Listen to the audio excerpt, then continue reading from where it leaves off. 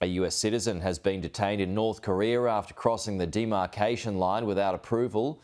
The man has been identified as Private Second Class Travis King, serving US Army soldier who had been facing disciplinary action by the military.